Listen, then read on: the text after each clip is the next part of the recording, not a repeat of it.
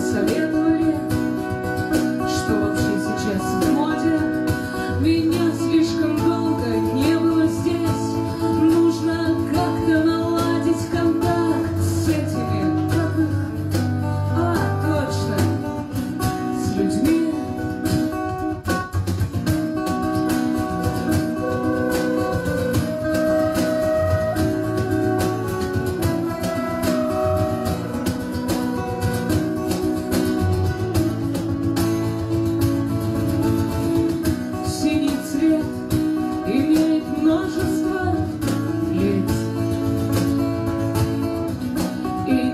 Фактор трезвости и синдром гениальности.